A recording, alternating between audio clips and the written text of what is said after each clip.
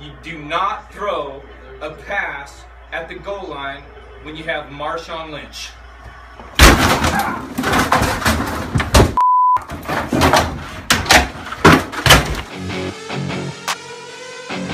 Ever been watching the game and yelled at the screen?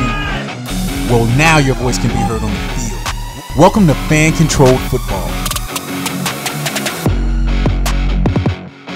This is really lit. The Fan Controlled Football League. Fan Controlled Football League, which is a very real thing. with fans calling plays. Fans draft the players, vote on all the rules, and not only do they call every single play, they review them. The fans have rules. It's a touchdown. No more yelling at the screen or complaining about the play call.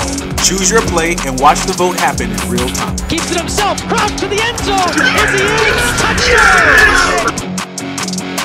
Twitch allowed fans to engage, win prizes, talk smack, and interact directly. Elite athletes with dynamic personalities captured everyone's attention across all platforms. I want to get hit. Hello. A little extra on that one.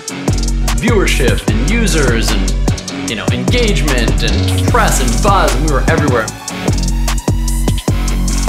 The reason fan controlled football was so appealing is because all fans think that they can call plays from their couch, and Fan Control Football League allows them to do it.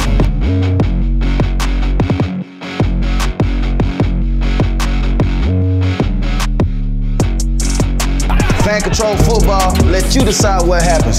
Get your game on.